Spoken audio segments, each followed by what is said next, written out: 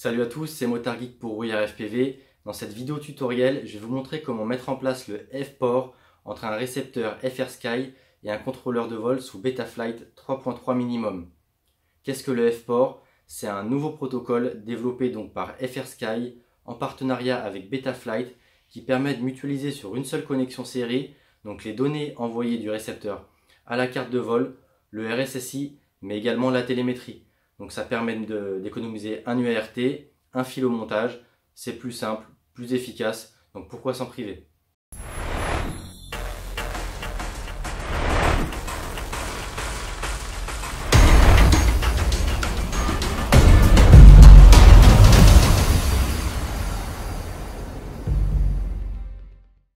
Je vais donc vous montrer comment j'ai raccordé moi mon bon vieux X4R S-Bus sur la F405 AEO de chez Foxeer. Euh, il faut savoir que c'est compatible également avec la gamme XSR, donc le XSR M, le RXSR. Euh, X4R c'est compatible avec le XSR tout court ou le S-Bus comme ce modèle-ci. Euh, pour ce qui est des autres modèles, je vous les mettrai dans l'article. Je sais juste que le R9M n'est pas encore compatible F-port, mais a priori c'est prévu dans, dans les développements futurs. Donc là-bas c'est simple, il faut récupérer le signal de télémétrie du récepteur et le brancher sur un UART du côté TX. Par contre, côté UART, il y a quelques petites subtilités en fonction des cartes de vol. Sur les F3 et F7, qui n'ont pas d'inverseur pour le signal de, télémétrie justement qui est inversé chez FrSky. Il faut donc récupérer le signal non inversé. Donc avec les X4R, faut un petit hack en venant se souder quelque part par là. Je vous le mettrai dans l'article hein, si ça vous intéresse. C'est pas l'objet de cette vidéo. Sur le très récent RXSR, il y a un pad de soudure direct qui permet de récupérer le signal non inversé. Alors évidemment, c'est pas sur le petit GST là, mais ça reste plus facile que sur les X4R d'accès.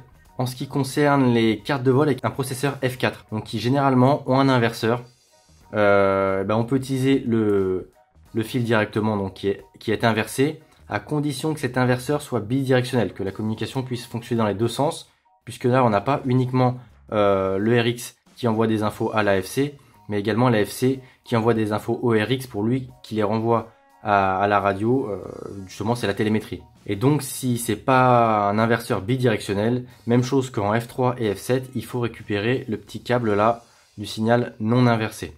Euh, le plus simple, dans tous les cas de figure, c'est de se mettre sur le, TX qui est généralement euh, dédié à la télémétrie FrSky. Sur toutes les cartes assez récentes, on a ça, et on, sait en tout cas que c'est dédié à ça.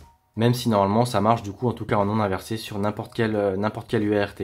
On peut même faire fonctionner le F-port en, émulation série, typiquement en, récupérant une, sortie moteur 5 euh, ou 6 ou même euh, une sortie LED.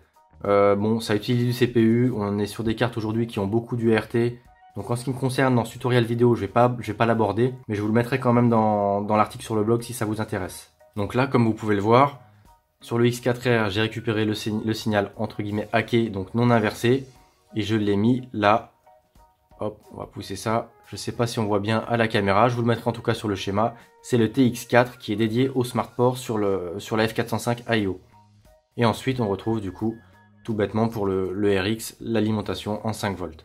Donc ce qu'on va faire, c'est qu'on va brancher la carte à Betaflight et on va voir justement les quelques petits paramètres qu'il faut effectuer dedans. Euh, en parlant de Betaflight avant d'attaquer, euh, le F-port est disponible dans Betaflight qu'à partir de la version 3.3. Donc moi là-dessus je suis en 3.4 donc c'est absolument pas gênant. Mais si vous avez une version avant 3.3, n'essayez même pas.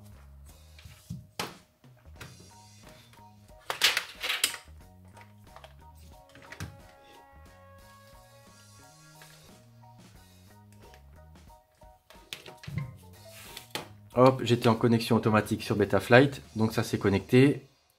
Euh, je vais allumer ma radio.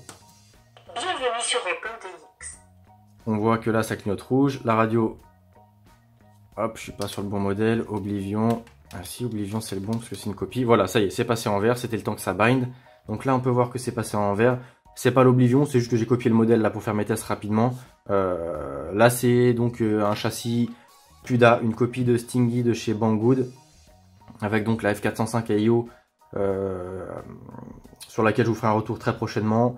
La Foxeer Micro Monster Pro et les moteurs Racer Star 2207, là les Frog X que je vous ai présenté il n'y a pas très longtemps sur les réseaux sociaux, donc idem ça, fera l'objet d'un test tout ça. Les, les ESC c'est des vieux BLLIS, des Little B 45 A, donc il n'y a, rien de très intéressant.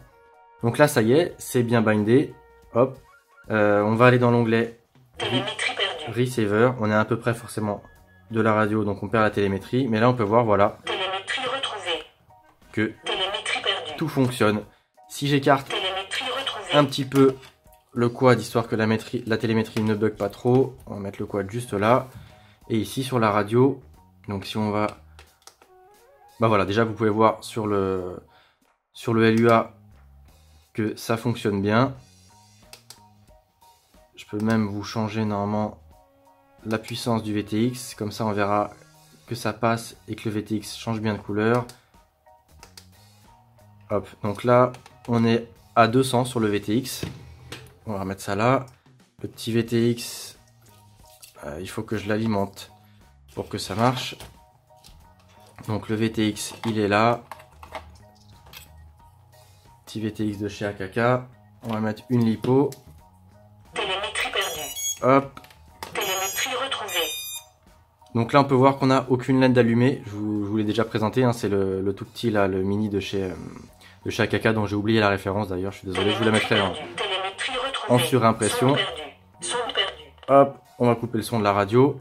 Donc là, ici, si je passe à 25, on l'avait vu dans la vidéo du test du power meter. Si on passe à 25, il devrait avoir une LED qui s'allume ici.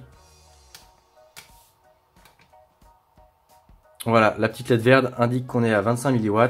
Et si je repasse à 200, puisque ce VTX de toute façon ne monte pas plus haut que 200, on va récupérer la bonne page. Donc là, il a récupéré 25, logique. Hop, 200. On sauvegarde. On doit être à peu près... Voilà, la LED s'est éteinte, on est repassé à 200. Donc c'est bien que la, transmission des infos qui vont vers la, de la radio au RX puis à l'AFC fonctionne. On a bien vu les différents canaux, on les voit toujours derrière. Euh, idem la télémétrie, on a les commandes qui partent de la radio qui vont bien à la à l'AFC au travers du RX et inversement euh, la radio récupère bien les infos envoyées par l'AFC, tous les réglages.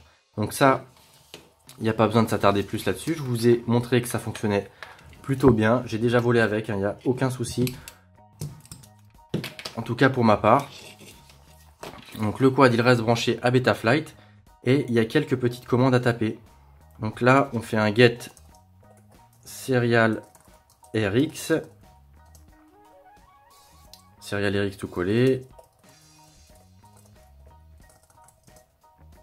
Et on retrouve trois valeurs. Donc on a le Serial RX Provider qui ici est réglé à F-port. Ça, on peut aller le faire directement dans l'onglet configuration. Je vous montrerai par la suite.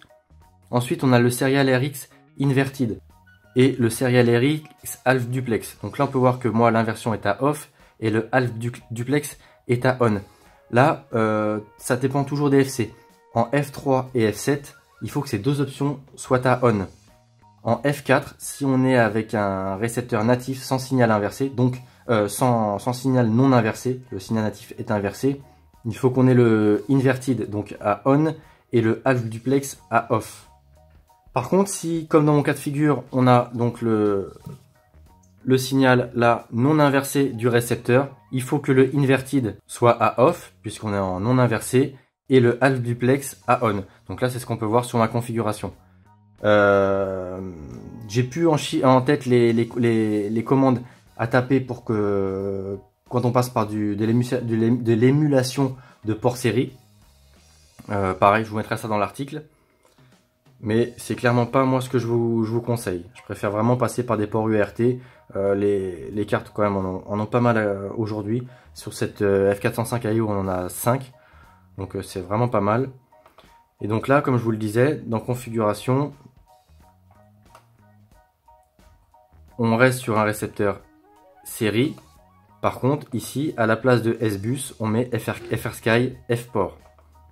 Et donc dans le port, c'est comme d'habitude, on coche juste ici Serial RX sur l'URT en question. Donc moi le numéro 4, puisque je vous disais que c'était TX4 sur la F405 IO. Donc voilà, c'était un petit tuto très simple. Je vous mettrai très certainement plus de détails dans l'article sur le blog. Euh, moi je trouve ça super pratique parce que déjà on économise un câble. C'est plus simple euh, du coup à monter et ça permet de libérer des URT. Surtout que maintenant, ce qu'on faisait pas avant à l'époque où on avait le, le S-Bus séparé euh, de la télémétrie, Maintenant, on retrouve de l'URT pour piloter le VTX, mais également la caméra FPV. D'ailleurs, ça fera l'objet du prochain tuto parce qu'avec la F405 de chez Foxeer, c'est super simple. Il n'y a pas besoin de, de diode ou quoi que ce soit. On branche directement la caméra sur la carte de vol. On fait un petit paramétrage sur les, ports de, de Betaflight et tout fonctionne. Voilà, comme d'habitude, n'hésitez pas à laisser un petit pouce, bleu ou rouge, peu importe, un petit commentaire, ça fait plaisir. Et je vous dis à bientôt pour une prochaine vidéo sur la chaîne. C'était Motard Geek pour We Are FPV.